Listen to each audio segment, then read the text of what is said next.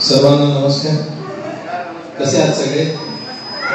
खेळून झालं साखर झालं. आता थोडीशी बहुतेक दहा वीस मिनिटाची मुलाखत आपण ऐकू. आणि मयुरी गुजराती आणि प्रतिलिपी या दोन शब्दांबद्दल आपल्याला माहिती घ्यायची. मयुरी गुजराती प्रतिलिपीवर आहे म्हणजे काय?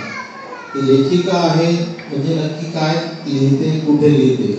कारण पुस्तक आपल्याला माहीत नाही. आपण तिचं पुस्तक वाचलेलं नाही. परंतु ती प्रतिलिपी सारख्या प्लॅटफॉर्मवर कशी प्रसिद्ध आहे हे आपण जाणून घेणार आहोत. खर तर गेल्या तीन चार वर्षापासून हे लिखाण तिचं सुरू आहे.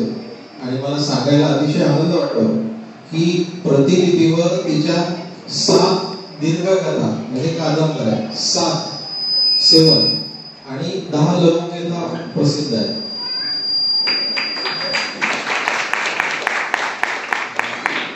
मधुमिता ही तिचं पहिली ही तिची पहिली कथा. आणि ही तीन पर्वात तिने लिहिली.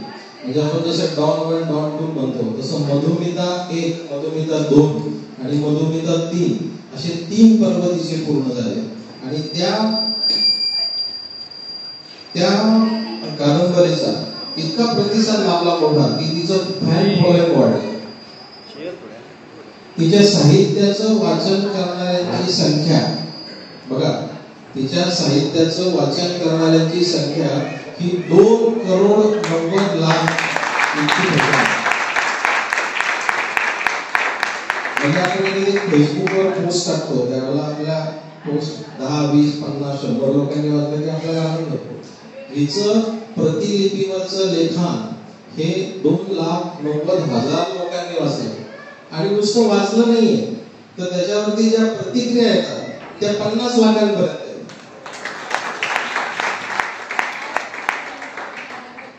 म्हणजे मयुरीच्या साहित्यावरचं जर आपण प्रतिक्रिया वाचल्या तर आपल्याला कळतं की ही काय लेखिका आहे आणि कुठल्या दर्जाची लेखिका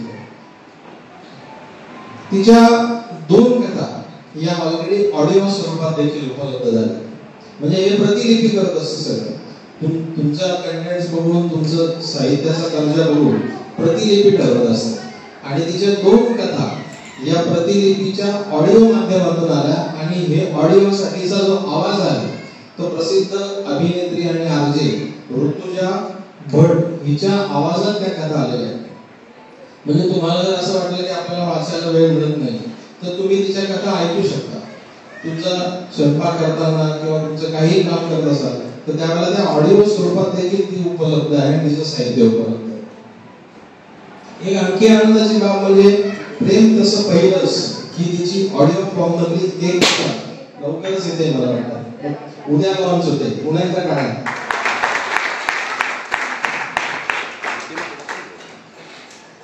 या डिजिटल ऍप बरोबरच अक्षरधन सारख्या दिवाळी अंकातूनही ती लिखाण करत असते. आणि तिच्या स्थलांतर या कथेला वाचकांनी अतिशय मोठा प्रतिसाद दिला. तिच्या या प्रवासातलं सगळ्यात मोठं यश म्हणजे मला दाखवायला आपल्याला आवडेल the extra nothing is perfect हे पुस्तक. ही कादंबरी प्रतिनिधीने प्रकाशित केली आणि सगळ्यात महत्वाचं की इंडियन प्रेस या प्रसिद्ध पब्लिशिंग हाऊसतर्फे ती प्रसिद्ध झाली आणि त्या महिन्यातल्या टॉप हंड्रेड न्यू अमेझॉन रिलीजमध्ये ती आली. टॉप हंड्रेड आता हा सगळा प्रवास कसा आहे काय नेमकं तिला करावं लागतं ती नेमकी कशा पद्धतीने लिखाण तुमच्याकडून जाणून घेणार आहोत. मैत्री मला वाटतं तुझं खूप खूप स्वागत आहे या कार्यक्रमामध्ये. आणि आम्ही नाशिककर म्हणून आम्हाला खूप अभिमान आहे की इतकी मोठी लेखिका आज आमच्यासमोर आहे. आणि इतक्या साहित्य वाच वाचकांपर्यंत पोहोचलेली एक चांगली अभि लेखिका म्हणून तुझं नाव आहे. तर लोकांना जाणून घ्यायचं की प्रतिलिपी म्हणजे नेमकं काय? मला वाटतं तुझ्याकडूनच ते जाणून घेतलेलं बरोबर आहे आणि प्रतिलिपीवर तुझं लिखाण कसं सुरू झालं ते पण तू सांगशील. बेसिकली तेच होतं की प्रतिलिपी नेमकं काय आहे हे बऱ्याच जणांना माहिती नाही तर सगळ्यात पहिली गोष्ट की आजकाल डिजिटलायझेशनमुळे सगळ्याच गोष्टी बदलल्या आहेत. त्याचप्रमाणे वाचन सुद्धा जे आहे ते बदललेलं आहे. तर आता जे पुढे स्वरूप येणार आहे आजच्या पाच दहा वर्षानंतर फार कठीण आहे की पुस्तक त्याचं अस्तित्व टिकवेल म्हणजे एका साईडला आम्ही त्यासाठी लढतोय की पुस्तक टिकले पाहिजे. कारण की सगळ्याच गोष्टी ह्या डिजिटल फॉर्ममध्येच येणार आहे तर प्रतिलिपी हे त्याचं आपण म्हणू की पायनियर होतं की त्यांनी ही कन्सेप्ट पहिल्यांदा आणली की पुस्तकं किंवा कादंबऱ्या ज्या आहे त्या डिजिटल फॉर्ममध्ये लोकांपर्यंत पोहोचतील. आणि त्यात दोन कॉम्बिनेशन असे होते की साहित्य आणि डेली पार्ट पोस्टिंग म्हणजे जसं आपण सिरियल्स बघतो त्याप्रमाणे डेली पार्ट पोस्ट होतील ही कन्सेप्ट त्यांनी त्यावेळेला आणली आणि ती लोकांना प्रचंड आवडली आता बेसिकली काय होतं की ज्या लोकांना वाचन आवडतं त्यांना ते आवडत जातं ज्यांनी नवीन डिजिटल स्वरूप ऍक्सेप्ट केलं त्यांना ते कळतं आणि लोक ते पुढे पुढे वाचत जातात तर जसं अं, टायडा म्हटल्यावर तो खरं तर ब्रँड आहे पण आपण त्याला टायडा तूप म्हणतो तर अं, तसंच प्रतिलिपी मला वाटतं काही दिवसात अं, ही कन्सेप्ट फिक्स करणार आहे की प्रतिलिपी म्हटल्यावर डिजिटल फॉर्ममधल्या कादंबऱ्या सो आनंद या गोष्टीचा आहे की मी अं, त्या काही लेखकांमध्ये होते सुरुवातीला की ज्यांनी ही कन्सेप्ट प्रतिलिपीकडे तू कशी काय वाढलीस म्हणजे इकडे लिखाण करायला पाहिजे असं तुला कधी वाटलं आणि कसं वाटलं काय रिझल्ट झालं की तू त्या कधी माध्यम समजल्या सुरुवात म्हणजे कोविडच फ्रस्ट्रेटिंग जो पिरियड होता सगळ्यांसाठी त्यावेळेला बेसिकली आधीपासूनच वाचनाची प्रचंड आवड होती वेळ होतं.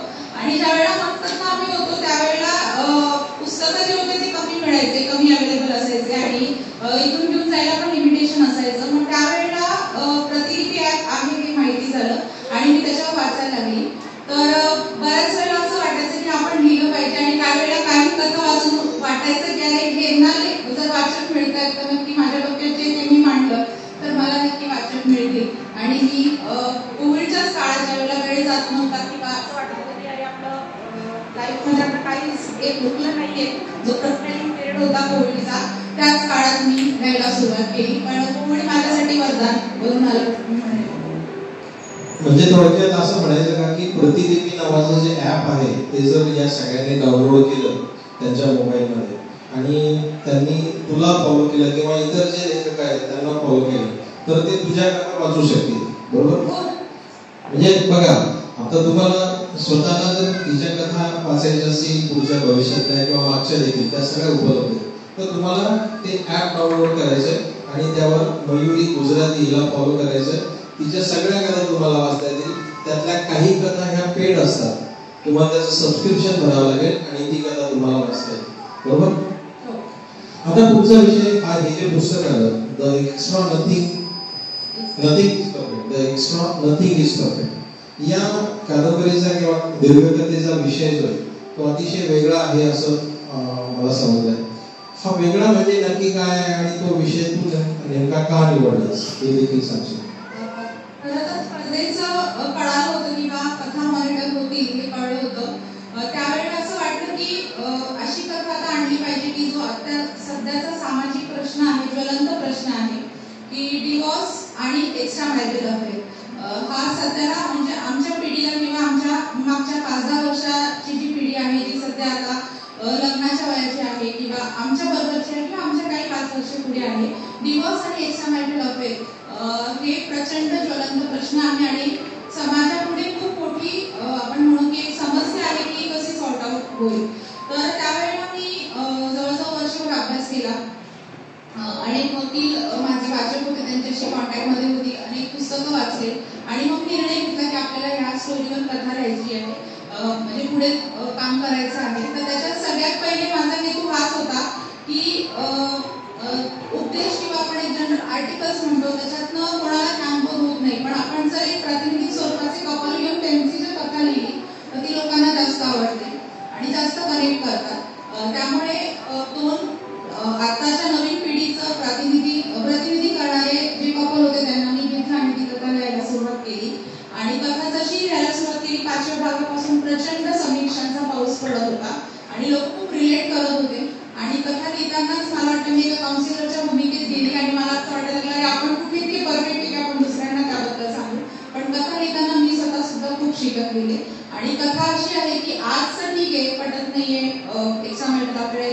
आवडत नाहीये. पण आजच्या दहा वर्षांनी काय कंडिशन असणार आहे? म्हणजे दोन हजार बत्तीसमध्ये अतिशय भ- भयावह परिस्थितीला ते दोन्ही कपल जे आहे अ, ते फेस करतात. तर आजच्या दहा वर्षांनी जेव्हा ते मुलाच्या कॉन्व्होकेशन सेरेमनीला भेटतात कॉन्व्होकेशन सेरेमनीला भेटतात त्यावेळेला त्यांना काय फील होतं आणि त्यांना काय रिग्रेट्स होतात? तर ही रिग्रेट स्टोरी आहे. आणि ती म्हणजे निवडली गेली ह्याच कारणासाठी कारण की सामाजिक संदेश आणि एक फ्रुटफुल सामाजिक संदेश देणारी कथा ती ठरली आणि त्यामुळे ज्युरीने ती कथा निवडली. थोडक्यात असं बघूया की आम्ही लिहितो वर्तमानपत्रात किंवा पुस्तकांवर तू पुढची स्टेप निवडली इंटरनेटवर लिहायला लागली आणि विषय देखील बघा. विषय देखील आजचा नाही. दोन हजार बत्तीस ला काय होऊ शकतं? या समस्येवर तिने करता येईल. मला वाटतं खूप मोठं यश आहे. आणि यश ज्यावेळेला आपण कथा वाचतो आणि त्याच्यावरच्या समीक्षा वाचतो त्यावेळेला देखील समजतं. तू मगाशी म्हणाली की अनेकांना असं वाटतं की आपण कुठेतरी रिलेट करतोय. अनेकांना असं वाटतं की यात हे पात्र आपणच आहोत. अनेकांना वाटतं की ही कथा आपलीच आहे. अशा समीक्षा आहेत. अशा कॉमेंट्स ज्या कथेवर आहेत. तर हे जे काही वाचक आहेत यांच्याबद्दलचा तुझा काही वेगळा अनुभव असेल तर सांगशील लोकांना? अनुभव म्हणजे ज्या वेळेला वाचक म्हणतात की तुम्ही देव आहात आमच्यासाठी. कारण की आमचा संसार वाचला. तर ती माझी सगळ्यात मोठी बिगेस्ट कॉम्प्लिमेंट आणि अशा रँडमली सांगायला गेलं तर शंभराच्या वर कॉमेंट्स आल्या. जिथे वाचकांनी सांगितलं की आम्ही स्टेप बॅक झालो. आम्ही डिसिजन घेतलं की आम्हाला वेगळं नाही व्हायचं आणि खूप जणांनी असंही सांगितलं की आम्ही चुकीच्या वाटेला लागलो होतो आता आम्ही पुन्हा पै- अ, म्हणजे आमचा जो जोडीदार आहे अ, त्याच्याशी पुन्हा एकदा अ, जे काउन्सिलिंग आहे ते करू आणि नक्कीच तर तो अ, शं- मला वाटतं शंभरच्या पार तो आकडा असेल मी सगळे स्क्रीनशॉट सांभाळून ठेवते आणि तोच माझ्यासाठी खरा खजिना आहे आणि मी पुस्तकातही तेच म्हणते की माझे सगळ्यात मोठं यश जे आहे ते तेच आहे की साधारणपणे ऍटलिस्ट शंभर संसार तर मी वाचवले पुढचा प्रश्न खरं तर तुला मी नंतर विचारणार होतो पण तुला आधीच विचारतो की घर सांभाळून लिखाणासाठी वेळ कसा देते? आणि या लिखाणातून तुला आर्थिक फायदा काय होतो? घर सांभाळवणं म्हणण्यापेक्षा खूप कठीण आहे. चोवीस तासाचा जॉब आहे कारण की थॉट प्रोसेस चोवीस तास चालत असते. आणि त्याच्यातनं थॉट विचार करणं आणि टाईप करणं या दोघांना वेळ द्यावा लागतो. एडिटिंगला भयंकर वेळ द्यावा लागतो. तर आहे स्ट्रगल आहे. पण घरच्या सगळ्यांचा पाठिंबा आहे. सिद्धार्थ आहे मम्मी आहे रिद्धिमा समजून घेते पप्पांचा सपोर्ट आहे. त्यामुळे जमून जातं आणि आर्थिक अ, सांगायचं गेलं तर अ, सुरुवातीला जेव्हा लिहायला सुरुवात केली त्यावेळेला मॉनिटायझेशन प्रतिलिपीने आणलेलं नव्हतं तेव्हा छंद म्हणून लिहित होते पण आज अ, सगळ्यांसमोर सांगायला अभिमान वाटतो की कदाचित मी कुठलंही एखादं हाय प्रोफाईल करिअर निवडलं असतं तर मी एवढं इन्कम करू शकले नसते जेवढं मी आता करते तर मी आय एम सो ब्लेस्ड की माझा छंद आणि माझं प्रोफेशन झालं हे फार कमी जणांना टाइम सो की मी ते करू शकते. अरे आता या माध्यमातून पुढचा प्रश्न की मधुमिता दोन पर्व प्रेमात पर्व नव्या प्रेमास या कथेत तू एका वेगळ्या सामाजिक विषयावर लिहिलंय. आता ज्यासाठी तुझं सर्वात मोठं कौतुक पण झालं खरं तर परंतु आम्ही असं ऐकलं की या कथेच्या माध्यमातून तू एका सामाजिक कार्याशी जोडली गेली म्हणजे संगोपिता या संस्थेला तू स्वतः आर्थिक मदत केली. आणि तू आवाहन केल्यानंतर वाचकांनी देखील त्या सं- संस्थेला खूप बघितलं त्याबद्दल थोडस सांगशील काय? मधुमिता पर्व जो जेव्हा राहायला गेलं सगळ्यात पहिले तर सांगायला आवडेल की मधुमिता तसं बघायला गेलं तर प्रेम कथा आहे पण त्यात सामाजिक भाग हा इतका आहे आणि लोकांना त्यामुळे ते इतकं पर्व डोक्यावर घेतलं की एकटा त्या पर्वाचे नव्वद लाख वाचक आहे. तर त्यावेळेला जेव्हा मधुमिता दोन लिहायचा निर्णय घेतला त्यावेळेला मला वाटलं की आता माझ्या लेखक म्हणून जबाबदारी खूप जास्त आहे. तर फक्त लव्ह स्टोरी आणि रोमॅन्स न लिहिता मी एक सामाजिक विषय घेतला. सेलिबर पॉल्सी हा एक आजार आहे. जो आपल्यापैकी खूप जणांना माहिती नाही. कदाचित पहिल्यांदाच नाव ऐकलं असेल. तर हा आजार म्हणजे आपण बघू जन्माच्या वेळेलाच होतो आणि आपण जनरली त्या अं, मुलाला किंवा त्या व्यक्तीला अपंग म्हणून मोकळं होतो पण तसं नाही सेलिबर पॉल्सी हा अतिशय किचकट आजार आहे आणि त्या आजाराशी सोबत जगणाऱ्या एका मुलीची कथा आणि जो कथेतला मेन नायक होता तो तिचा भाऊ होता आणि त्या संदर्भातली ती कथा लिहिली सुरुवातीला भीती होती की लोकांना अशा कथा आवडत नाही पण लोकांना इतकी की लोक खूप छान म्हणजे रिस्पॉन्स द्यायला मिळाला आणि मग एक दिवस मग मी त्याच्यात एका आश्रमाचं वर्णन दिलं होतं आणि एक दिवस अचानक मला एक मेसेज आला की मॅम तुम्ही या आश्रमाबद्दल लिहिले का म्हणजे नाही मी काल्पनिकपणे लिहिलेलं आहे म्हणजे मी असं एक आश्रम बदलापूरला आहे आणि मी त्यांना संपर्क केला आणि दैवी योग म्हणावा किंवा देवाचा साक्षात्कार म्हणावा आय नो पण मी जे वर्णन कल्पनेमध्ये त्या आश्रमाचं लिहिलं होतं उपयोग तसंच आश्रम बदलापूरला आहे.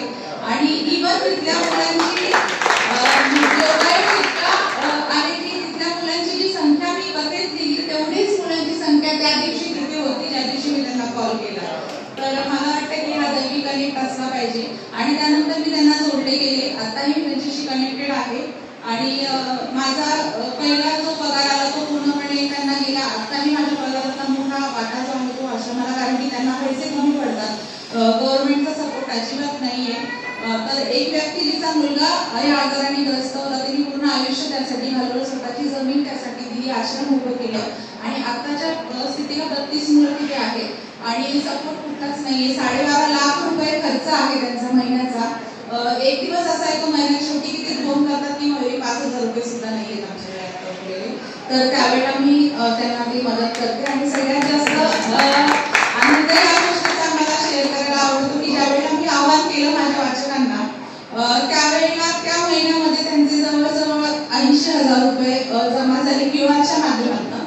आणि त्याच्यानंतर सहा जण होते की जे डॉक्टर्स माझे लीडर आहे म्हणजे आनंद या गोष्टीचा की डॉक्टर आणि सायंटिस्ट सुद्धा माझे लीडर आहे मधले सायंटिस्ट माझे लीडर आहे तर त्यांनी त्यांना कॉन्टॅक्ट केला आणि त्यांचा दुधाचा खर्च कोणी उचलला आहे कोणी युनिफॉर्मचा उचलला आहे कोणी फिजिओथेरपीचा उचलला आहे. तर अशा पद्धतीने माझं कॉन्ट्रीब्युशन मला वाटतं की त्या संस्थेला जात आहे. तर हे सुद्धा साक्षीला आई वडिलांची पुण्य आहे. कारण की करणं शिकली आहे मी की आपण कमवायसाठी द्यायचा विचार केला तर नक्कीच देव सुद्धा आपल्याला यश देतो खरं तर- हे मी थोडं डिस्टर्ब करते इथे सुद्धा मला आवाहन करायला आवडेल की जर तुमच्यापैकी कोणाला इच्छा असेल तर नक्कीच आश्रमाशी कनेक्ट होऊ शकतात. आणि आश्रम इतकं सुंदर आहे की तुम्ही वन डे ट्रिप सुद्धा तिथे प्लॅन करू शकतात.